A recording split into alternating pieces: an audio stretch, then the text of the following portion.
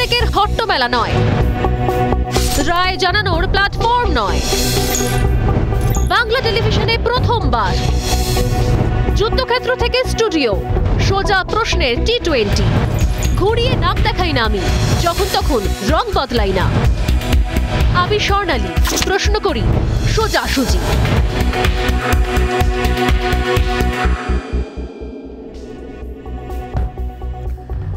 প্রশ্ন করার পালা, সমস্ত মানুষের, সমস্ত ছেলে মেয়েদের বাংলার সেই সমস্ত চাকরি প্রার্থীদের আজ সত্যি সত্যি গলা তুলে চোখে চোখ রেখে সোজাসুজি প্রশ্ন করার পালা।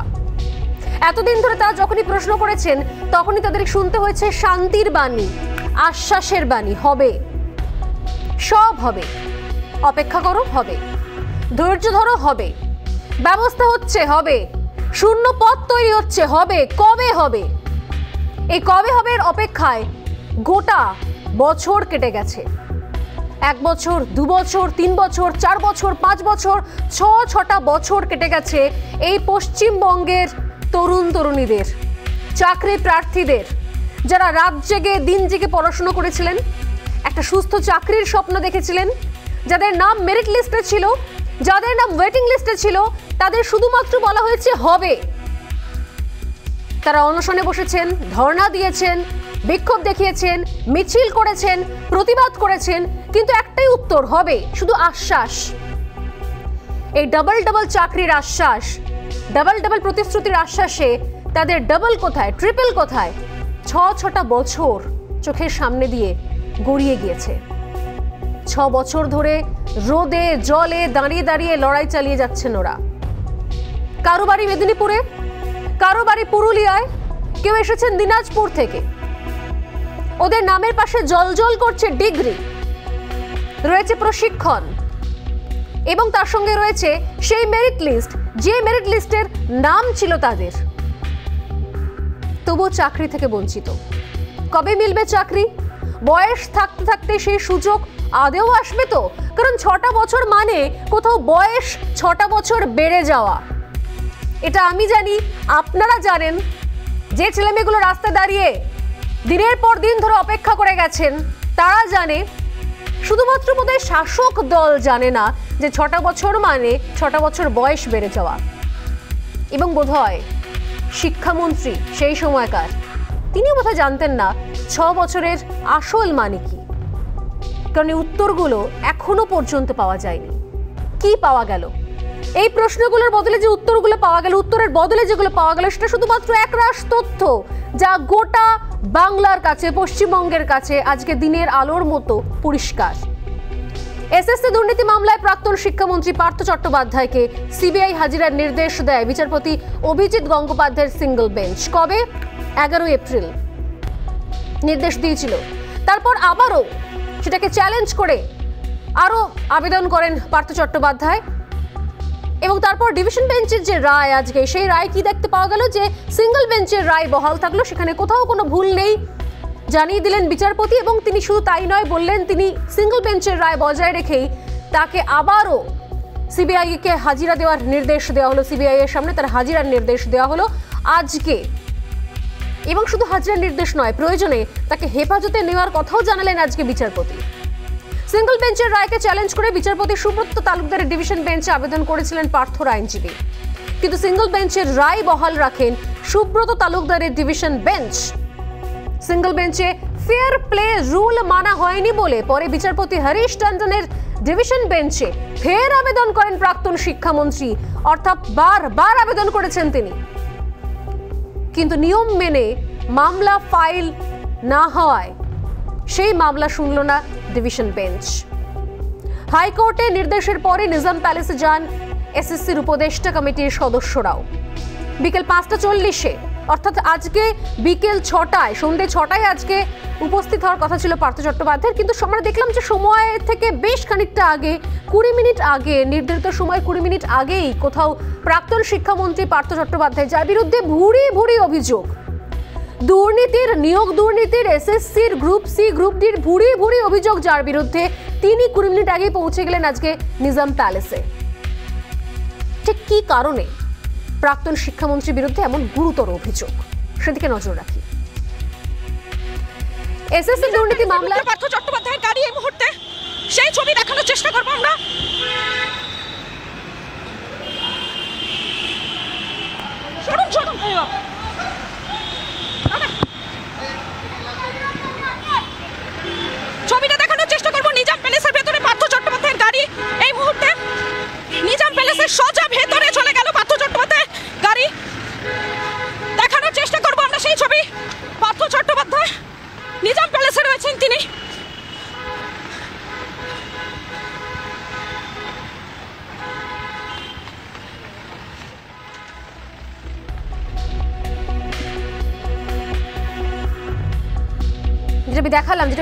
কিছুক্ষণ আগেই সেই ছবি দেখাচ্ছিলাম যে নির্ধারিত সময়ের কুড়ি মিনিট আগেই পৌঁছে গেলেন পার্থ চট্টোপাধ্যায়।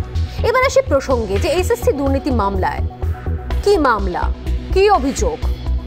গত শুক্রবার বাক কমিটি হাইকোর্টে যে রিপোর্ট পেশ করে, তাতে কি দেখা যায়? যার প্রেক্ষিতে আজকের এই দৃশ্য দেখতে হচ্ছে আমাদের। বাক কমিটির রিপোর্ট অনুযায়ী বলা হয়, গ্রুপ সিতে তিনশো একাশি ভুয়ো নিয়োগ হয়েছে। দুশো বাইশ জন পরীক্ষা দেননি তাদের নাম ওয়েটিং লিস্টেও ছিল না, অথচ তারা চাকরি পেয়েছেন। ঠিকই শুনছেন, কোনো কোনো অপেক্ষা নয়, কোনো কোনো অনশন আন্দোলনে নয়।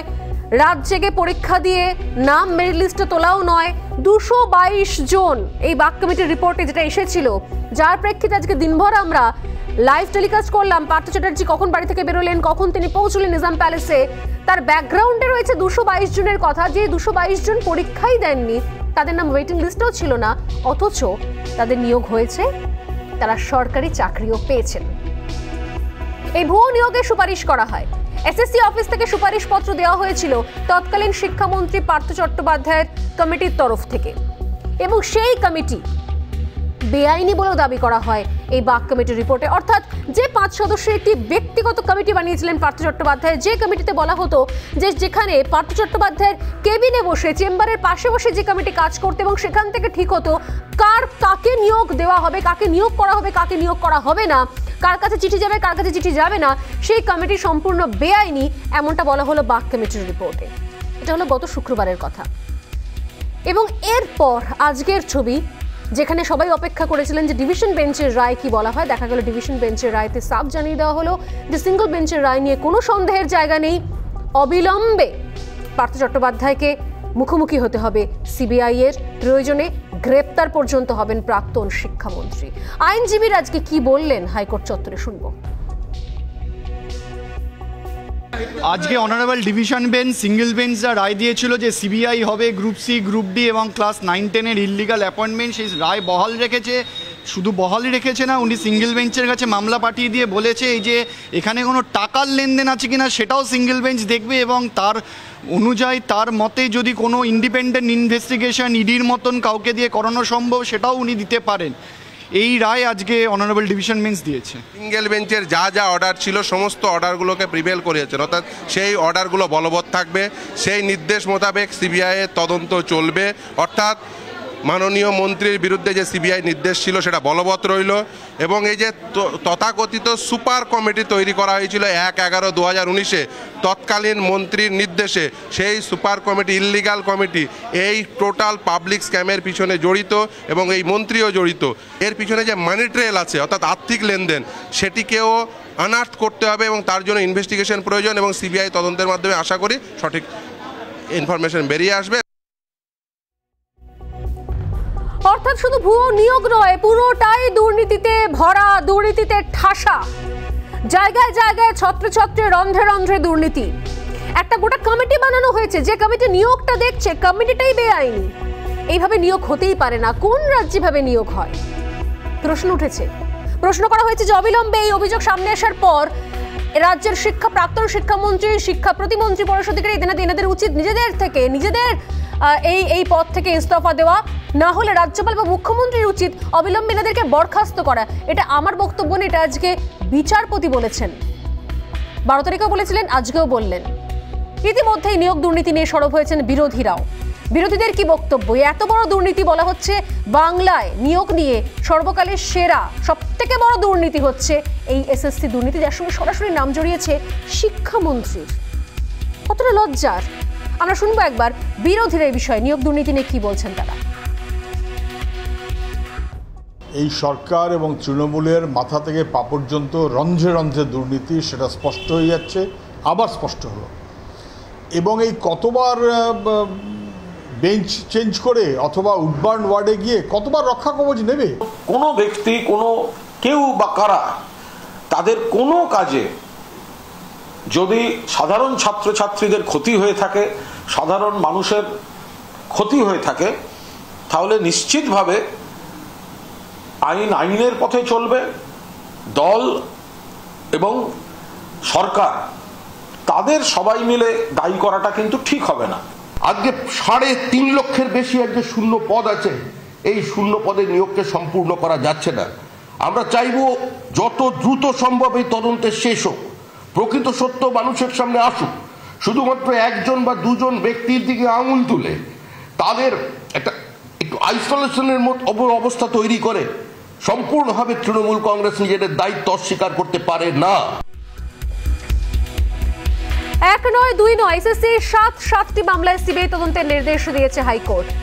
কফিনে শেষ পেরেকপুতে অবসরপ্রাপ্ত বিচারপতি রঞ্জিত বাগের রিপোর্ট দেখিয়ে দিল, নিয়মকে নস্বাত করে চাকরি দেওয়ায় সারা দেশের কাছে এগিয়ে বাংলা। রাজ্যের প্রাক্তন শিক্ষামন্ত্রী, বর্তমান শিক্ষা প্রতিমন্ত্রী, এসএসসির প্রোগ্রামিং অফিসার, চেয়ারম্যান, মধ্যশিক্ষা পর্ষদের চেয়ারম্যান, স্কুল সার্ভিস কমিশনের সচিব, এসএসসির প্রাক্তন চেয়ারম্যান সহ একের পর এক মন্ত্রী আমলাদের নাম জড়িয়েছে এই দুর্নীতিতে। কত বড় দুর্নীতি, কত গভীরের জাল, এতদিন ধরে প্রকাশ্যে আসেনি, কেন আসেনি? তাদের ভরসায় রয়েছেন যারা, এদের ভরসায়, সিস্টেমের ভরসায় যারা ছিলেন ভরসা করে বসেছিলেন, সেই চাকরি প্রত্যাশীরা। কি বলছেন আজকে? শোনাবো। দেখুন, আজকে আমরা যে দু হাজার ষোলো সালের নবম থেকে দ্বাদশ স্তরের মেধা তালিকাভুক্ত চাকরি প্রার্থী, আমরা কিন্তু আজকে ছ বছর ধরে বঞ্চিত। আর আমরা এটাই চাইব যে আজকে যে হাইকোর্ট থেকে যে রায় দিয়েছে কোর্ট, কোর্টের মতন চলুক, কিন্তু আমরা যারা বঞ্চিত চাকরি প্রার্থী, আমরা আমাদের নিয়োগটা চাই অতি দ্রুত। কারণ আমাদের জীবন থেকে ছটা বছর চলে গেছে, আমরা চাই না আমাদের জীবন থেকে একটা একটা দিনও যাক। আমরা অবিলম্বে আমাদের নিয়োগপত্রতে যাই। হ্যাঁ অবশ্যই। আমরা আমরা চাই আমাদের রাজ্যের যিনি অভিভাবিকা অবশ্যই অভিভাবিকা মানে আমাদের তিনি আমাদের এই বিষয়টাকে তিনি নিজে হস্তে আমাদের সমাধান বের করুক। আমাদের চাকরিটাই মূল উদ্দেশ্য যে কোর্ট কোর্টের মতো চলবে, রাজনীতি রাজনীতির মতো চলবে, কিন্তু আমাদের একটাই উদ্দেশ্য যে আমাদের ষোলো সালে ফার্স্ট এসএলএসটি পরীক্ষা দিয়েছিলাম। সেই ষোলো সাল, আজকে হচ্ছে বাইশ সাল, ছ বছর জীবন থেকে চলে গেছে। সময় তো কারোর জন্য থেমে থাকে না। তাই আমরা চাই দিদি যে প্রতিশ্রুতি দিয়েছিলেন, সেই প্রতিশ্রুতি দিদি নিজে হস্তক্ষেপ করুন এবং আমাদের ইমিডিয়েট নোটিফিকেশন দেওয়ার ব্যবস্থা করুন। দুর্নীতি বা যে সমস্ত আধিকারিকরা রয়েছেন, তারা যথোপযুক্ত শাস্তি পাক। আমরা এটাই চাই। তার সাথে আমাদের একটাই কথা যে ছয় বছর যে মূল্যবান সময়টা আমাদের ফুটপাতে নষ্ট হয়েছে, সেই সময়টা তো আমাদের নষ্ট হওয়ার কথা ছিল না। সেই সময়টা আমাদের স্কুলে কাটানোর কথা ছিল। কিন্তু আমরা চাই যে মাননীয়া, যিনি ওয়ান টাইম ল পরিবর্তন প্লাস ওয়ে আউট যে ব্যাপারে উনি কথাটা বলেছেন, উনি অতি সত্তর প্লিজ আমরা ওনাকে অনুরোধ করছি যে উনি এই মে মাসের মধ্যে উনি ব্যাপারটা দেখুন। একদিকে আজ যেরকম ধুন্ধুমার অবস্থা, শুধুমাত্র যদি আমরা একদিন আগে পিছিয়ে যাই মানে পুরো চব্বিশ ঘন্টাও নয়, একদিন আগের যদি ছবিটা দেখি আমরা, শুধু গতকালের, কি ভয়ঙ্কর ছবি। আরও একটা দিক, এদের জন্য যারা চাকরি প্রত্যাশী, যারা রাস্তায় দাঁড়িয়ে রয়েছেন ছ বছর ধরে, রোদ, জল, ঝড় মাথায় নিয়ে, তাদের কাছে খবর যে রাজ্যের শিক্ষা প্রতিমন্ত্রী পরেশ চন্দ্র অধিকারীর বিরুদ্ধে বিস্ফোরক অভিযোগ উঠল হাইকোর্টে। গতকাল সেই ছবিও দেখতে হলো আমাদের। মন্ত্রী কন্যার নিয়োগ মামলায় সিবিআই তদন্তের নির্দেশ দেয় হাইকোর্ট। অভিযোগ, স্কুল সার্ভিস কমিশনের রাষ্ট্রবিজ্ঞানের পিজি ক্যাটাগরিতে তপশিলি জাতিভুক্ত যে ওয়েটিং লিস্ট প্রকাশিত হয়েছিল, তাতে প্রথম নামটা ছিল ববিতা বর্মনের। দ্বিতীয় এবং তৃতীয় স্থানে ছিলেন যথাক্রমে লোপামুদ্রা মণ্ডল এবং ছায়া রায়। কিন্তু ওই তালিকা প্রকাশের পর আরও একটা তালিকা প্রকাশ হয়, তাতে দু নম্বরে চলে আসেন ববিতা এবং এক নম্বরে দেখা যায় পরেশচন্দ্র অধিকারীর মেয়ে অঙ্কিতা অধিকারীর নাম। গতকালই রাত্রি আটটার মধ্যে তাকে হাজিরার নির্দেশ দেওয়া হয়েছিল। কিন্তু উত্তরবঙ্গে থাকায় তা সম্ভব হয়নি। ওই দিন রাতে উত্তরবঙ্গ থেকে রওনা দেন তিনি, কিন্তু কলকাতায় আসার আগেই বেমালুম উধাও হয়ে যান মন্ত্রী। তাকে শেষ দেখতে পাওয়া যায় সিসিটিভি ফুটেজে বর্ধমান স্টেশনে। দেখা যায় মন্ত্রী এবং তার কন্যাকে। এদিন পরেশ অধিকারীর সন্ধানে বর্ধমান স্টেশনে টর্চ নিয়ে খোঁজ চালায় এসএফআই। সেই ছবিও ধরা পড়েছে আমাদের ক্যামেরায়। এবং একই সঙ্গে দেখতে পাওয়া যাচ্ছে যে শুধুমাত্র তাই নয়, এই হটকারী সিদ্ধান্তের মধ্যে কোথাও অদ্ভুত রকমভাবে যেভাবে মন্ত্রী হাপিস হয়ে গেলেন ভ্যানিশ হয়ে গেলেন, তার অদ্ভুত ছবি ধরা পড়ল আমাদের সামনে। কারণ এই ভ্যানিশ হয়ে যাওয়ার আগে দেখা যাচ্ছে সেখানে ফাইন দিতে হচ্ছে মন্ত্রীকে। কোথায় গেলেন? কখন আসবেন? কখন সম্মুখীন হবেন? নাকি তিনিও কোথাও? আবারও পার্থ চ্যাটার্জির মতো সেই ঘুরপথে ডিভিশন বেঞ্চ হয়ে অপেক্ষা করবেন যে আবার সেখানে কি রায় দেয়? সেখানে কি সিঙ্গেল বেঞ্চের রায়কে মেনে নেয় বা না নেয়? আমরা জানি না। কিন্তু অদ্ভুত একটা সিকোয়েন্স আমরা দেখতে পেলাম আজকে। প্রতিমন্ত্রী পরেশ অধিকারীর কি ছবি ছিল আজকে? দেখাবো। পদাতিক এক্সপ্রেসের এইচ ওয়ান কামরার সি কম্পার্টমেন্টের ভেতরেই ছিলেন রাজ্যের শিক্ষা প্রতিমন্ত্রী পরেশ অধিকারী। এই মুহূর্তে আমরা দাঁড়িয়ে রয়েছি একদম সেই জায়গাটায়। আপনাদেরকে একটু দেখাবো যে তিনি ঠিক কোন জায়গাটাতে ছিলেন। একটু তোমার থেকে জানব, তুমি তো একদম কালকে রাত থেকে ছিলে, ঠিক কোন জায়গাটাতে দেখেছিলে? এইচ ওয়ানের এই এই দুটো যে সিট রয়েছে, অর্থাৎ এইট এবং নাইন সম্ভবত এগুলো হচ্ছে আপার বাঙ্ক এখানেই কিন্তু ওনারা দুজন ছিলেন এবং নিচে যে যারা যাচ্ছিলেন, তারাই জানিয়েছেন যে তারা মোটামুটি এই দুটো সিটে বসেই তারা কিন্তু বিভিন্ন টাকার বান্ডিল তারা কিন্তু এই ব্যাগ থেকে ওই ব্যাগে তারা আহ, স্থানান্তর করে। কারা কারা? উনি ছাড়া আর কে উনি ছিলেন? এবং তার মেয়ে ছিলেন। মানে পরেশ অধিকারী ছিলেন এবং তার মেয়ে ছিলেন যে বিষয়টা যেগুলো সামনে আসছে ইতিমধ্যে কিন্তু একটা রহস্যের উদ্ঘাটন হয়েছে পুরো বিষয়টাকে কেন্দ্র করে। দাদা আপনি কিছু দেখেছিলেন? না আমি তো এখন এসেছি। কোচ ছিল পারবে। বেশ আমরা একটুখানি কথা বলার চেষ্টা করছি। অ্যাটেন্ডেন্টের সঙ্গে আমরা একটু কথা বলার চেষ্টা করছি। শুধু তাই নয়, এর সঙ্গে ফাইন দেওয়ারও এক্সক্লুসিভ ছবি ধরা পড়েছিল আমাদের ক্যামেরা আমি আবারও সুযোগ হলে দেখাবো। তবে আপাতত এসএসসি দুর্নীতি যেখানে আলোচনা করছিলাম সেখানেই ফিরে আসি। এসএসসি দুর্নীতি শুরু থেকেই সড়ক বিরোধীর এবং বুধবার এবিভিপির তরফে বিকাশ ভবন অভিযানের কর্মসূচি নেওয়া হয় আজকে। সেই ছবিও দেখলাম আমরা, কারণ নিঃসন্দেহে যা নিয়ে বারবার সরব হয়েছেন বিরোধীরা আজকে এবিভিপি পথে নামলেন। বিকাশ ভবন অভিযানের কর্মসূচি নেওয়া হলো, সেই কর্মসূচি ঘিরে ধুমধুমার পরিস্থিতি তৈরি হলো সেখানে। শুনব আমরা যে এই ধুমধুমার পরিস্থিতি থেকে, অভিযান থেকে কি দাবি তাদের ছিল? শুনব। আমাদের মূলত শিক্ষামন্ত্রীর কাছে যে দাবিগুলো রয়েছে, বর্তমানে শিক্ষাক্ষেত্রে আমাদের এসএসসি এসএলএসটির যে দুর্নীতি, আগামী দিনেও নোটিফিকেশন আনছেন উনি, সেই ক্ষেত্রে দুর্নীতি মুক্ত একদম করতে হবে। আমাদের মেন দাবি হচ্ছে তোমার আমাদের নারী সুরক্ষা নিয়ে, আর তাছাড়াও তোমার শিক্ষায় যেভাবে দুর্নীতি হচ্ছে, এবং তাছাড়াও চাকরি ক্ষেত্রে যেভাবে দুর্নীতি চলছে সেজন্য আমরা আজকে রেপুটেশন জমা দিচ্ছি।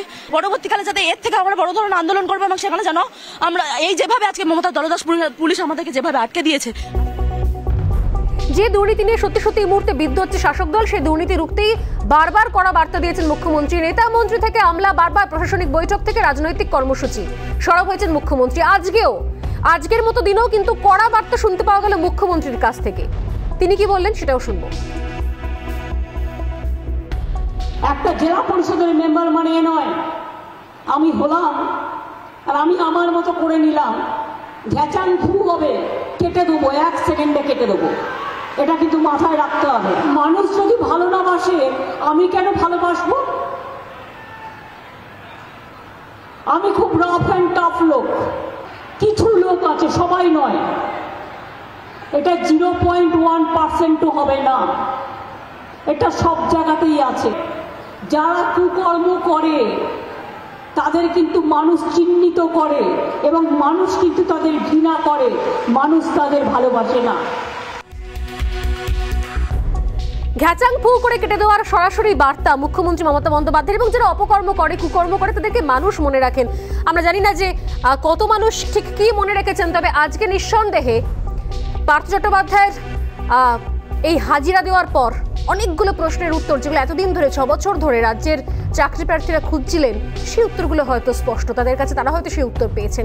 আজকের এই সোজাসুজি প্রশ্ন উত্তর পর্বে যারা রয়েছেন আমার সঙ্গে রয়েছেন সন্ময় ব্যানার্জি বিজেপি মুখপাত্র স্টুডিও থেকে রয়েছেন তৃণমূল মুখপাত্র বিশ্বজিৎ দেব আমার সঙ্গে। বিশ্বজিৎ স্বাগত আপনাকে রয়েছেন আইনজীবী বিক্রম ব্যানার্জি। বিক্রম আপনাকেও স্বাগত তিনজনকেই স্বাগত। রিপাবলিক বাংলা এবং আমার সোজাসুজি স্বর্ণালীতে। আমি প্রথমেই আহ, সন্ময়দা আপনাকে দিয়ে শুরু করি আজকে। এই ঘটনার পর মুখ্যমন্ত্রী বলছেন যে কড়া ব্যবস্থা নেবেন তিনি। দুর্নীতির বিষয়ে কোনো রকমের আপোষ নয় ঘ্যাচাংফু ধরে নেব কি কোথাও। তাহলে পার্থ চ্যাটার্জির এই ছবি সামনে আসার পর কোথাও সরকারও এর দায়, এই যে কলঙ্ক, এই যে লজ্জা, এর দায় তার ঘাড়ে নেবে না সরকারও। স্বর্ণালী, প্রথমেই বলে নেওয়া দরকার যে পার্থ চট্টোপাধ্যায় নয়, একদম সর্বোত্তম জায়গা থেকেই করাপশনটা হয়েছে। এটা ভাবার কোনো কারণ নেই যে এসপি সিনহা নিজে নিজে গিয়ে কাজটি করেছেন। এটা ভাবার কোনো কারণ নেই যে পার্থ চট্টোপাধ্যায় একার সিদ্ধান্তে এতগুলো বেআইনি নিয়োগ করেছেন। এটা মূলত সর্বোত্তম জায়গা থেকে ইঙ্গিত, ইশারা কনফার্মেশন না হলে কখনো এত বড় কেলেঙ্কারি বাংলার মাটিতে হতে পারে না। এক নম্বর। দ্বিতীয়ত, ঘ্যাচাংফুয়ের কথা আপনি বলছিলেন। আমার খালি মনে পড়ছে দু হাজার আঠেরো সাল সেই দু সালে পরেশ অধিকারীকে ফরওয়ার্ড ব্লক থেকে তৃণমূল কংগ্রেসে নিয়ে আসার জন্য রফা হয়েছিল তার কন্যার চাকরি। এবং তারপর ওয়েটিং লিস্টে নাম না থাকার পরও তার চাকরি হয়ে গিয়েছিল। সারা কুচবিহার উত্তাল হয়েছিল, সারা বাংলা উত্তাল হয়েছিল। দিনের পর দিন গান্ধী মূর্তির পাদদেশে বসা ছেলেগুলো যখন পরেশ অধিকারী কন্যার দিকে আঙুল তুলেছেন, তখন জানতেন রাজ্যের মুখ্যমন্ত্রী মমতা বন্দ্যোপাধ্যায় তখন ঘ্যাচাংফু কথাটা মনে পড়েনি যে পরেশ অধিকারীকে মন্ত্রী করা উচিত না। দু হাজার আঠেরো থেকে দু হাজার একুশ, তিন বছর গেছে দু হাজার একুশে মন্ত্রিসভা তৈরি হয়েছে। সেই পরেশ অধিকারীকে শিক্ষার প্রতিমন্ত্রী করা হয়েছে। ঘ্যাচাংফু শব্দটা তখন মনে ছিল? আসলে এগুলো হচ্ছে ভণ্ডামি, অভিনয়। বিশ্বজিৎবাবুরা কি বলবেন জানি না, কিন্তু বেসিক্যালি এটা ভণ্ডামি করছে রাজ্যের মুখ্যমন্ত্রী। এই টোটাল করপশনের রেসপন্সিবিলিটি মমতা বন্দ্যোপাধ্যায় এবং অভিষেক বন্দ্যোপাধ্যায়ের। কেউ অস্বীকার করতে পারবেন না। পার্থ চট্টোপাধ্যায়কে হেফাজতে নিয়ে কাস্টাডি ইন্টারোগেশন হোক তিনি স্বীকার করতে বাধ্য হবেন যে সর্বোচ্চ পর- পর্যায় থেকে আমার কাছে সিগন্যাল এসেছিল বলে আজকে আমি এই বেআইনি কাজগুলো করতে বাধ্য হয়েছি। এর আগে যখন আমরা কথা বলেছিলাম বারোই এপ্রিল মনে থাকবে বিশ্বজিৎবাবু আমাদের সঙ্গে আপনিই ছিলেন। সেই সময় আমরা বলেছিলাম যে আবারও কথা হবে বুধবার আঠারোই এপ্রিল আজকে সেই বুধবার এবং দেখা গেল কি ডিভিশন আপনাদের যে অগাধ আস্থা ছিল যে ডিভিশন বেঞ্চ এখনই কিছু বলা যাবে না কে অপরাধী কে অপরাধী নয়। আজকের পরে বিশ্বজিৎবাবু আপনি বলবেন যে এখনও পর্যন্ত কিছু বলা সম্ভব নয়। এখনও পর্যন্ত এই বিষয় নিয়ে মুখ খোলা উচিত নয়। ডিভিশন বেঞ্চ থেকেও সেটা সিঙ্গেল বেঞ্চের রায়কেই তো মান্যতা দিল। তাহলে কি লাভ হলো বারবার এই আবেদনগুলো করে? এতে তো অপরাধ খাটো হবে না বিশ্বজিৎ বাবু কি বলবেন? আমাকে একটু আনইন্টারাপ্টেডলি বলতে দেবেন। প্লিজ বলুন। সন্ময়বাবু অনেকগুলো কথা বলে গেলেন এবং উনি বললেন যে সর্বোচ্চ জায়গার থেকে এসব নির্দেশ এসব হয়। এসব আমাদের দলে হয় না। এসব তৃণমূলে হয় না বা তৃণমূল সরকারের আমলে হয় না। এগুলো বিজেপির এগুলো বিজেপির কালচার আমি প্রথমেই বলতে চাই যে আজকে বাংলায় যেই ধরনের উন্নয়নমূলক কাজ মমতা বন্দ্যোপাধ্যায়ের নেতৃত্বে হচ্ছে এবং যেই কাজটি প্রত্যেকটা সুবিধে সর্বত্র ছড়িয়ে দেওয়া হচ্ছে এবং প্রত্যেক শ্রেণির কাছে পৌঁছে দেওয়া হচ্ছে, সেইখানে যদি ওর কারোর কোনো ভুলের জন্য পয়েন্ট ওয়ান পার্সেন্ট যদি গণ্ডগোল হয়ে থাকে তাহলে তার দায় কিন্তু সরকারের ওপর চাপানোটা অত্যন্ত ভুল। তার দায় কিন্তু তৃণমূল দলের ওপর চাপানোটা অত্যন্ত ভুল। আমার কথাটা শেষ করতে দিন। আজকে ব্যাপারটা বিচারাধীন ব্যাপারটা কোর্টের এখতিয়ার এবং বিচারাধীন। এবং পার্থবাবু কোর্টের ডাইরেকশনে সিবিআই এর অফিসে এখন ইন্টারোগেশন ফেস করছেন। সুতরাং এই ব্যাপারে কোন রকম কোনো কথা বলা আমি মনে করি উচিত না। কিন্তু আমরা আবার বলছি আইন আইনের পথে চলবে সে ব্যাপারে আমরা কিছু বলব না। কিন্তু আজকে বিজেপি এত বড় বড় কথা বলে আজকে নারদ কেলেঙ্কারিতে অভিযুক্ত শুভেন্দু শুভেন্দু অধিকারী আজকে সিবিআই তারা বলছে নিরপেক্ষ আজকে সিবিআই সামনে শুভেন্দু অধিকারী দিনের মধ্যে চারবার নৃত্য করে বেড়াচ্ছেন এবং তখন তাকে গ্রেপ্তার করতে পারছে না। সিবিআই আর সিবিআই আপনি কে বললেন বিজেপি বলছে আমি আপনার বক্তব্য শুনলাম। বিজেপির বক্তব্য আমি জানি না কারণ বিরোধী দল সবসময় আপনারা যখন বিরোধী ছিলেন আপনারাও সিপিএম এর সমস্ত কর্মসূচি সমালোচনা করতেন। বিরোধীদের কাজই তাই। আমার বক্তব্য হচ্ছে সাধারণ মানুষ হিসেবে। এই যে যাদেরকে নিয়ে আলোচনা করছিলাম এই এই যে এত এত ছেলে মেয়ে যারা ছ বছর ধরে রাস্তায় দাঁড়িয়ে রয়েছে তাদের জন্য কি বলবেন? এখনও বলবেন যে বিচারাধীন বিষয়? তাদের মুখের দিকে তাকিয়ে এখনও আপনারা বলতে পারছেন বিচারাধীন বিষয়? আমরা এর আগেও বলেছি আপনার যদি মনে থাকে আমি এর আগের দিনে আপনারা তো বিচারাধীন বিষয়টা রাখছেন। পার্থ চট্টোপাধ্যায় যদি অপরাধী হন তিনি তো নিজে নিজে লড়াই করছেন না। কার টাকায়? তো জনগণের ট্যাক্সের কথাটা টাকায় তিনি আবেদন করছেন। আমার কথাটা শেষ করতে দিন আপনি একটা কথার থেকে আরেকটা কথায় চলে যাচ্ছেন। আপনি বলছেন যে যারা এখন অব্দি এই চাকরি প্রার্থীরা তাদের কি হবে? মাননীয় মুখ্যমন্ত্রী পরিষ্কারভাবে নির্দেশ দিয়েছেন এবং তার নির্দেশে নতুন পদ তৈরি করা হচ্ছে। পারবেন তো ছটা সেটা বছর আমাদের ফিরিয়ে দিতে বিশ্বজিৎ বাবু? বসু বলেছেন। পারবেন তো ছটা please বছর কথাটা ফিরিয়ে দিতে এদের? কথাটা প্লিজ শেষ করতে দিন। একটা দুর্নীতিগ্রস্ত সোনালী, আমার একটু বলার আছে যে- পলিটিশিয়ানকে আপনারা মন্ত্রী করে রেখেছিলেন এত বছর ধরে? এসএসসির মাধ্যমে নতুন করে সেই নিয়োগগুলো হবে। সুতরাং দুর্নীতিগ্রস্ত কথা পলিটিশিয়ানকে। আপনারা এতদিন ধরে শিক্ষামন্ত্রী বানিয়ে রেখেছিলেন। এবং সেই একটা নির্দেশ একজনকে নয় তার সঙ্গে একটা দোষর দিয়েছিলেন প্রতিমন্ত্রী পরেশ অধিকারী আপনারা কিন্তু খালি দুর্নীতি দুর্নীতি বলে চেঁচাতে হবে আরে বিশ্বজিৎ বাবু, বিশ্বজিৎ বাবু, শুনুন। চেঁচাবো না। বিশ্বজিৎ বাবু আপনার ঘরের সন্তান গান্ধী মূর্তির পাদদেশে বসে থাকলে আজকে এই ভাষা আপনি কথা বলতে পারতেন না। বড় বড় কথা আপনি লজ্জাবোধ করুন। আপনি লজ্জাবোধ করুন। আপনি লজ্জাবোধ করুন। দশ হাজার আপনার পুত্র কন্যা যদি গান্ধী মূর্তির পাদদেশে বসে আমি যাব না বিজেপির কাছে। আমি আমি আজকে আমি আজকে কথা শোনালাম। আমাদের এত এত ছেলে মেয়ে।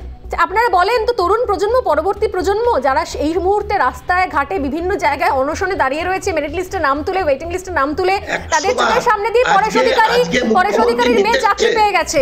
তাদের বাবা কাকার নাম পার্থ চ্যাটার্জি নয় পরেশ অধিকারী নয়। আজকে আজকে মুখ্যমন্ত্রীর নির্দেশে নতুন করে পদ সৃষ্টি হচ্ছে এবং তৈরি হচ্ছে ক্যাবিনেট অ্যাপ্রুভ হবে। সোনালি আমি একটা কথা বলি বিশ্বজিৎ অনেক কথা বলছেন তো?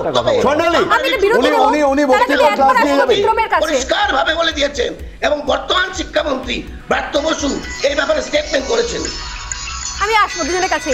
একটা ছোট্ট বিরতি নিতে আমাকে তার আগে আমি খুব সংক্ষেপে একবার বিক্রমের কাছে বিক্রমের কাছে বিরতির পর ফিরে আসব বড় করে। বিক্রম, সংক্ষেপে একবার। শুধু আমরা দুর্নীতি দুর্নীতি বলে চেঁচাচ্ছি, এটা পুরোটাই কি এখনও বিচারাধীন বিষয়? বলে আমরা এটাকে এখান থেকে নির্দিষ্ট নিরাপদ দূরত্ব বজায় রাখতে পারি, বিক্রম?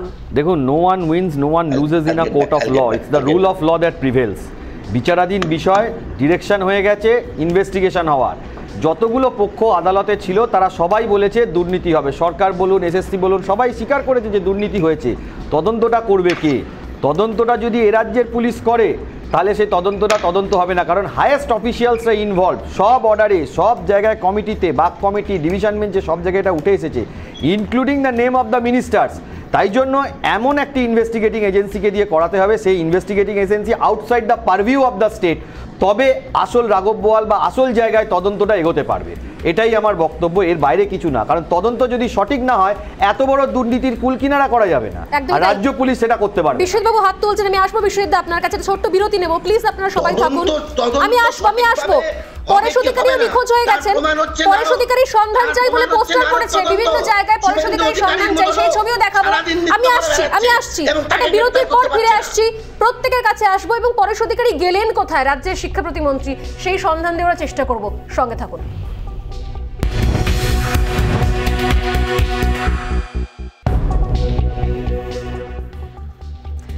বিরতির পর সত্যি সত্যি কোথায় যাবে পরিণতি কি হবে এবং রাজ্যের প্রাক্তন শিক্ষামন্ত্রী যদি সত্যি গ্রেপ- গ্রেপ্তার হন, তাহলে সেটাই বা এই সরকারের কাছে কতখানি লজ্জার, এত বড় নিয়োগ দুর্নীতি? এখনও পর্যন্ত অনেকেই বলছেন যে পুরো বিষয়টা বিচারাধীন, কিন্তু কীভাবে? এই মুহূর্তে আরও অনেকে যোগদান করেছেন আমার সঙ্গে রয়েছেন। এই মুহূর্তে ফেরদৌস শামীম, বিশিষ্ট আইনজীবী এবং যিনি সরাসরি এই এই এই মামলাটিতে নিয়ে মুভ করছেন। আপনাকে স্বাগত রিপাবলিক বাংলা এবং সোজাসুজি স্বর্ণালীতে। ফেরদৌস, আমি আপনার কাছে শুরুতে যাই। এই মুহূর্তের যে অবস্থা সিবিআই এর আগেও সিঙ্গেল বেঞ্চের রায় বলা হয়েছিল সিবিআই এর সামনে সেখানে উপস্থিত হতে। কিন্তু তারপরে দেখা গেল, দেখলাম আমরা যে আবারও অনেকটা সময় কিনে নেওয়ার একটা জায়গা চলল। আবারও ডিভিশন বেঞ্চ এবং সেখান থেকে আবারও আজকের এই এই রায় এবং তারপর ফাইনালি এই বিশেষ সুপার কমিটি, উপদেষ্টা কমিটি তার তার তার সদস্যদের এখানে উপস্থিতি এবং পার্থ চট্টোপাধ্যায়ের এখানে উপস্থিতি। আমার দুটো বিষয়ে প্রশ্ন রয়েছে যে এখান থেকে কি কি তথ্য সামনে বেরিয়ে আসা যেতে পারে, কি কি জিনিসগুলো স্পষ্ট করার জায়গা রয়েছে এবং যদি তাকে হেফাজতে না নেওয়া হয়, তাহলে কি অন্য কোনোভাবে এই মামলা প্রভাবিত হওয়ার আশঙ্কা করা যেতে পারে? ফিরদৌস, আপনি কি বলবেন? দেখুন, এই যে দুর্নীতি হয়েছে, এটা দিনের আলোর মতো পরিষ্কার। গ্রুপ সি গ্রুপ ডি নবম, দশম এবং একাদশ, দ্বাদশ। এই প্রতিটি নিয়োগেই দুর্নীতি হয়েছে এবং এই দুর্নীতিগুলো মনিটর করার জন্য তৎকালীন মন্ত্রী একটি কমিটি তৈরি করে দিয়েছিলেন এবং সেই কমিটির তত্ত্বাবধানেই কিন্তু এই দুর্নীতিগুলো হয়েছে। সেই কমিটি তারা পেন্ডিং রেকমেন্ডেশনগুলো মনিটর করছিল এবং সেই কমিটি তৈরি করে দিয়েছিল তৎকালীন শিক্ষামন্ত্রী। তাহলে এই শিক্ষামন্ত্রী কখনোই বলতে পারেন না যে তিনি কিছু জানতেন না। ঠিক। যেহেতু এখনও বিচারাধীন বিষয়, খুব বেশি বলব না, কিন্তু এটা তো পরিষ্কার। অনারেবল জাস্টিস বাগ কমিটির রিপোর্ট থেকে যে ছশো জন গ্রুপ ডি এর ক্ষেত্রে, তিনশো একাশি জন গ্রুপ সি এর ক্ষেত্রে ইললিগাল অ্যাপয়েন্টমেন্ট পেয়ে গেছে। অপরদিকে নবম দশমে দেখা গেছে যে সেখানেও ইললিগাল অ্যাপয়েন্টমেন্ট দেওয়া হয়েছে। আর ইলেভেন টুয়েলভে তো আরও ভয়ঙ্কর, সেখানে মন্ত্রীর মেয়ে, যার নাম লিস্টে কোথাও ছিল না অল অফ দ্য সাডেন কী হলো? তার নামটি লিস্টে একদম উপরে চলে এলো। তার প্রাপ্ত নাম্বার সিক্সটি ওয়ান অপরদিকে পিটিশনারের প্রাপ্ত নাম্বার অর্থাৎ মামলাকারীর প্রাপ্ত নাম্বার সেভেন্টি সেভেন সে পার্সোনালিটি টেস্টে অ্যাপিয়ার করেছে সে সিলেকশন প্রসেসের সমস্ত প্রক্রিয়াগুলোতে অ্যাপিয়ার করেছে, তারপরেও সে কিন্তু অ্যাপয়েন্টমেন্ট পায়নি। অপরদিকে যে মন্ত্রীর মেয়ে, সে কিন্তু পার্সোনালিটি টেস্ট না দেওয়া সত্ত্বেও সে কিন্তু অ্যাপয়েন্টমেন্ট পেয়ে গেছে এবং প্রায় চৌত্রিশ মাস ধরে সে কিন্তু শিক্ষকতা করছে। একজন সেভেন্টি সেভেন পেয়ে শিক্ষকতা পেল না, অপরদিকে একজন সিক্সটি ওয়ান পেয়ে এবং নিয়োগ প্রক্রিয়ার একটি পদ্ধতি, অর্থাৎ পার্সোনালিটি টেস্টে অ্যাপিয়ার না করেই নিয়োগ পেয়ে গেল। এই যে দুর্নীতিগুলো হয়েছে, নিশ্চিতভাবে এই দুর্নীতি, এই যে শত শত দুর্নীতি হয়েছে ইলিগাল অ্যাপয়েন্টমেন্ট রয়েছে। এর পিছনে নিশ্চিতভাবে আর্থিক লেনদেন আছে। সেই তদন্ত করে সেই আর্থিক লেনদেনগুলোকে উঠিয়ে নিয়ে আসতে হবে। এর পিছনে যে যে প্রভাবশালীর হাত আছে সেগুলোকে আনাট করতে হবে এবং যারা যারা করবেন এর কারা? তদন্ত বেনিফিশিয়ারি করবেন কারা? রাজ্যের শিক্ষামন্ত্রী বোঝাই একদমই। যাচ্ছে কিরা কতখানি প্রভাবশালী তিনি তার নিজের তৈরি কমিটি এবং কে কে নেই? আমি দেখছিলাম আপনারা যেটা বলেছেন এখানে চেয়ারম্যান মধ্যশিক্ষা পর্ষদের chairman SSC programming officer SSC প্রাক্তন চেয়ারম্যান সার্ভিস স্কুল সার্ভিস কমিশনের সচিব এই এই এই ধরনের হাই প্রোফাইল আমলারা যেখানে রয়েছেন সেই জায়গা থেকে দাঁড়িয়ে রাজ্য পুলিশের পক্ষে আদৌ সম্ভব নিরপেক্ষ তদন্ত করা ফিরদৌস? সেই জন্যই তো, সেই জন্যই তো মহামান্য আদালত অত্যন্ত যুক্তিসঙ্গতভাবেই সিবিআই এর হাতে এই তদন্তভার তুলে দিয়েছেন এবং মহামান্য বিচারপতি অভিজিৎ গঙ্গোপাধ্যায় অত্যন্ত যুক্তিসঙ্গতভাবেই সিবিআই এর হাতে এই তদন্তভার তুলে দিয়েছিলেন এবং আজকের ডিভিশন বেঞ্চের অর্ডার সেটাই কিন্তু রিফ্লেক্ট করেছে, যেহেতু রাজ্য সরকারের উচ্চপদস্থ আধিকারিক এবং রাজ্যের মন্ত্রীর নাম এই দুর্নীতিতে জড়িত। ফলে রাজ্যের পুলিশ কোনোভাবেই সেই তদন্ত সম্পূর্ণ করতে পারবে না। এটাই স্বাভাবিক যুক্তিবোধ হওয়া উচিত এবং সেই স্বাভাবিক যুক্তিবোধের উপর ভিত্তি করে সিবিআইয়ের হাতে দায়িত্বভার অর্পণ করা হয়েছিল তদন্তের এবং সেই কারণেই মহামান্য ডিভিশন বেঞ্চ কিন্তু বলে দিয়েছেন খুব স্পষ্ট ভাষায় দ্ব্যর্থহীন ভাষায় যে হ্যাঁ সিঙ্গেল বেঞ্চের সমস্ত অর্ডার যুক্তিপূর্ণ এবং সিঙ্গেল বেঞ্চের অর্ডারগুলোই। বলবৎ থাকবে। এবং সেই সিঙ্গেল বেঞ্চের অর্ডারের পরিপ্রেক্ষিতে আজকে পার্থ চট্টোপাধ্যায়কে সিবিআই দপ্তরে হাজির হতে হলো। এবং অপর এক মন্ত্রী পরেশ চন্দ্র অধিকারী তাকেও হাজির হতে হবে। কারণ এখনও পর্যন্ত সিঙ্গেল বেঞ্চের অর্ডারই কিন্তু বলবৎ রয়েছে। Otherwise it will be contemptuous act কিন্তু এখনও পর্যন্ত পরেশ অধিকারী তো পরেশ অধিকারী তো এখনও পর্যন্ত নিরুদ্দেশ। আমি জানি না তিনি কীভাবে হাজিরা হবেন। আপনি আপনারা যেরকম বলছেন আইনের বিষয়ে। তদন্ত থেকে তদ- তদন্ত থেকে তিনি যদি পালিয়ে বেড়ান আইনি যা যা পদক্ষেপ হওয়া উচিত। আশা করি সিবিআই সেই সেই পদক্ষেপ নেবেন। আদারওয়াইজ সিবিআইও কিন্তু আইনগতভাবে সিদ্ধ হবেন না। কারণ নির্দেশ সিবিআই এর উপর যে পরেশচন্দ্র অধিকারীকে ডাকতে হবে। অতএব সেক্ষেত্রে সিবিআইকেও বলতে হবে যে তারা ডেকেছিলেন কি ডাকেননি অথবা ডেকেছিলেন পাননি সেটা নিশ্চিতভাবে যখন মামলা হবে নিশ্চিতভাবে তারা দাখিল করবেন আমি এবার আসব আহ, আমাদের সঙ্গে রয়েছেন না বিশ্ববিদ্যা বিশ্ববিদ্যা বিরতিতে যাওয়ার আগেও কিছু বলতে চাইছিলেন। বিশ্ববিদ্যা এখনও পর্যন্ত আপনাদের যেটা বারবার করে বলা হচ্ছে দুর্নীতি তো হয়েছে এখানে তো কোনো সন্দেহের অবকাশ নেই। তাহলে আপনাদের এখনও পর্যন্ত কনফিউশনটা কোথায়? আপনারা বলতে চান না যে শিক্ষামন্ত্রী দুর্নীতি আমরা আমরা আমরা প্রথম থেকে একটা কথাই বলে এসেছি।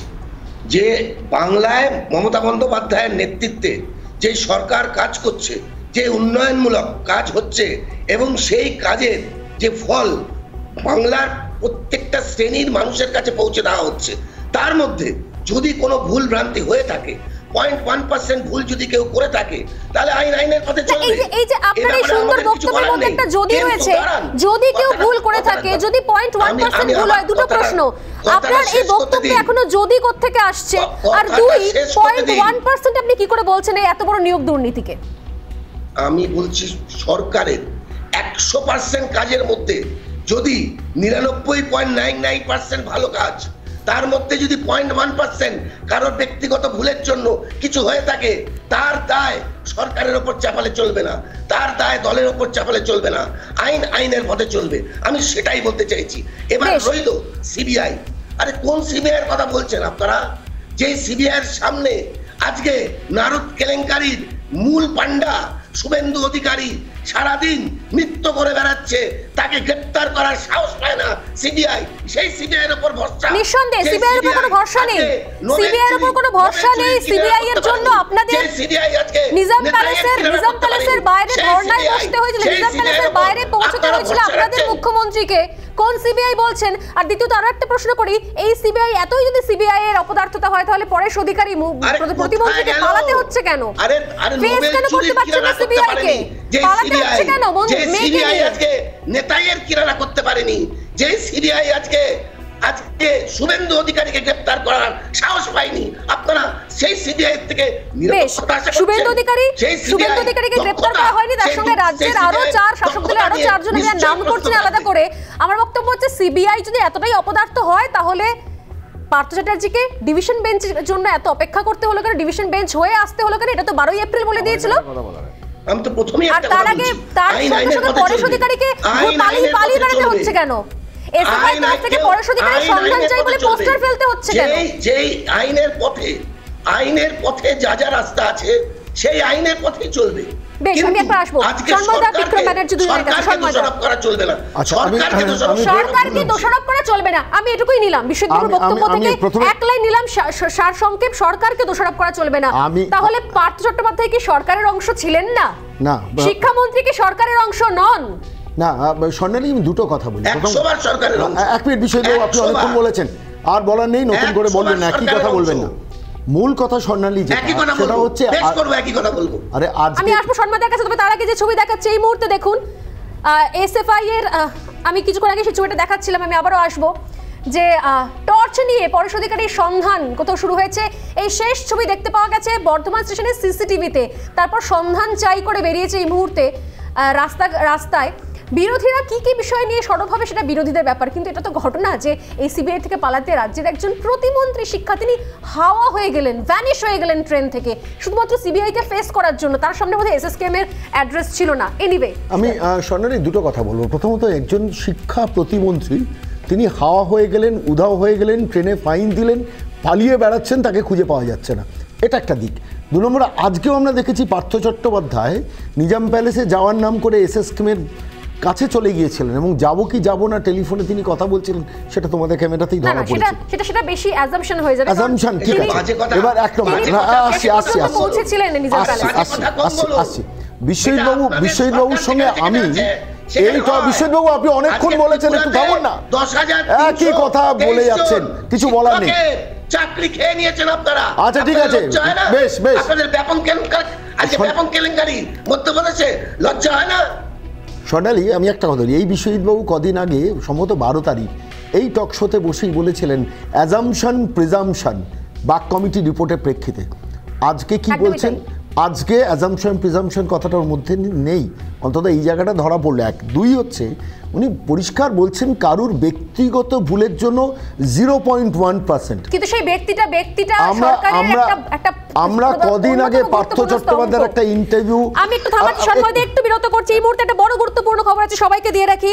এসএসসির চেয়ারম্যান সিদ্ধার্থ মজুমদার এই মুহূর্তে তিনি ইস্তফা দিলেন। মাত্র চার মাস তিনি দায়িত্ব নিয়েছিলেন। এই মুহূর্তের গুরুত্বপূর্ণ খবর ইস্তফা দিলেন এসএসসির চেয়ারম্যান সিদ্ধার্থ মজুমদার। পদত্যাগ করলেন তিনি। প্রসঙ্গত যেখানে এর আগেই একাধিক আমলার নাম জড়িয়েছে পাঁচ সদস্যের কমিটিতে, সেখানে মাত্র চার মাস আগে দায়িত্ব নেওয়ার পর তিনি ইস্তফা দিলেন সিদ্ধার্থ মজুমদার। আমার মনে হয় দায়িত্ব নেওয়ার চার মাসের পর তার এই পদত্যাগ এবং আজকের প্রেক্ষিতে আমি বিক্রমের কাছে আসব, খুব সংক্ষেপে বিক্রম, মনে হচ্ছে সত্যি সত্যি কালো দিন শিক্ষাক্ষেত্রে রাজ্যে, যেখানে এত বড় একটা দুর্নীতি সামনে আসছে এবং এরপর বোধ হয় শিক্ষাক্ষেত্রটাই মানুষের ভরসার জায়গা থাকবে না, বিক্রম। করে থাকবে? দশ বছরে আপনারা যদি দেখেন, টেট পরীক্ষা কভার হয়েছে। এসএলএসটি পরীক্ষা কভার হয়েছে। প্রত্যেক বছর তো হওয়া উচিত ছিল। নাইনটিন নাইনটি সেভেনের স্কুল সার্ভিস কমিশন অ্যাক্ট তারপর থেকে দু হাজার দশ সাল পর্যন্ত হয়েছে। আর দশের পরে এগারো এগারো থেকে আর একুশ অবধি যদি বাইশ অবধি আপনি দেখেন, দুবার হয়েছে। আর সরকারের মূল উদ্দেশ্য সরকার কোর্টে অফিসিয়ালি স্বীকারই করে নিচ্ছে যে এখানে করাপশন হয়েছে।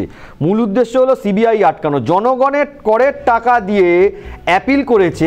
আমি জানি না জনগণের করের টাকা দিয়ে লক্ষ লক্ষ টাকা কোটি কোটি টাকা সুপ্রিম কোর্ট দিয়ে সিনিয়রের পেছনে খরচা করে সুপ্রিম কোর্টে হয়তো এসএলপি করবে। এই টাকাটা কার জনগণের করের টাকা। আপনার আমার করের টাকা। এই টাকা দিয়ে সুপ্রিম কোর্ট যাবে। আমার তো এখানে সিবিআই আটকানোর জন্য। যদি ব্যক্তি যদি একজন কোনো ব্যক্তির ভুল হয় যদি সরকারের ভুল না হয় ব্যক্তির ভুল হয় তাহলে কেন সরকার তার জন্য এত খরচ করছে। জনগণের করের টাকা কেন তিনি অন্যান্য আবেদন করছেন তিনি আপিল করছেন? কেন? তাহলে ব্যক্তি পার্থ চট্টোপাধ্যায় কেন তিনি আবেদন করছেন না? কেন তিনি সরকারের পয়সা ধ্বংস করছেন? কারুর ব্যক্তিগত সমস্যা হতে পারে না। পার্থ চট্টোপাধ্যায় কদিন আগে একটা ইন্টারভিউয়ে বলেছেন এটা একটা- একটা কন্টিনিউয়াস ম্যানেজমেন্ট সিস্টেম মন্ত্রী বদলে যায় কিন্তু এটা সিস্টেমের মধ্যে একটা পার্ট তিনি যেটা বলেছেন বিশ্বজিৎবাবু সেটাকে অস্বীকার করছেন। আর সিবিআই এর কথা বলছেন আমি একটা কথা বলি। সাতটা মামলা জাস্টিস অভিজিৎ গাঙ্গুলি সিবিআই এর হাতে দিয়েছেন এবং ডিভিশন বেঞ্চ সেটাকে এন্ডোর্স করেছে। তো এটা কিন্তু ব্যক্তিগতভাবে কোনো রাজনৈতিক দল দেয়নি কেন্দ্রীয় সরকার দেয়নি। হাইকোর্ট দিয়েছে।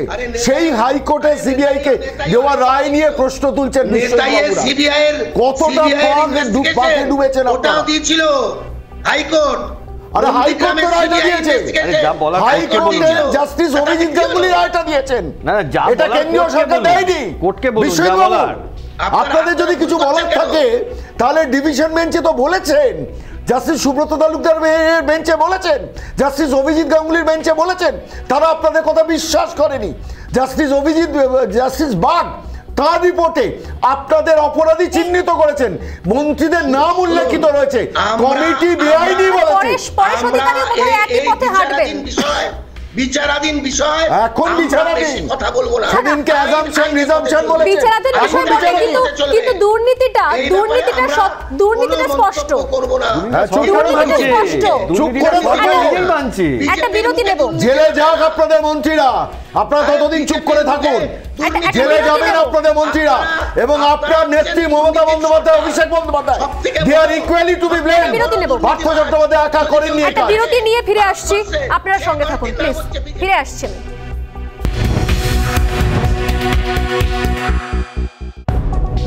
আমি সেটার পরিপ্রেক্ষিতে বলছি এত বড় পাবলিক স্ক্যাম যে মন্তব্যটা কোট করেছে। পশ্চিমবাংলায় স্বাধীনতার পরে এত বড় পাবলিক স্ক্যাম আর হয়নি। এ তো পহলে ঝাঁকি হয়, কাশি মথুরা বাকি হয়। প্রাইমারি টেটটা ধরলে আর বাকি যা আছে উড়ে চলে। সত্যি সত্যি স্বাধীনতার পর কি সব থেকে বড় স্ক্যাম এই মুহূর্তে বাংলায়, আমরা জানি না। আরও অপেক্ষা করছি। শেষ পর্যন্ত কোথায় গিয়ে দাঁড়ায় এই তদন্ত? আর কারা কারা জড়িয়ে থাকে? কিন্তু ছটা বছর যাদের নষ্ট হয়ে গেল, তাদের শত তদন্ত, শত অপরাধ, শত জেল হওয়ার পরও তাদের ছটা বছর ফিরে আসবে না। এই দাগ থেকে গেল। সোজাসুজি সরালি শেষ করছি এখানে আপনারা সঙ্গে থাকুন। একটু পরে দেখুন জবাব চায় বাংলা ময়ূকের সঙ্গে। নমস্কার।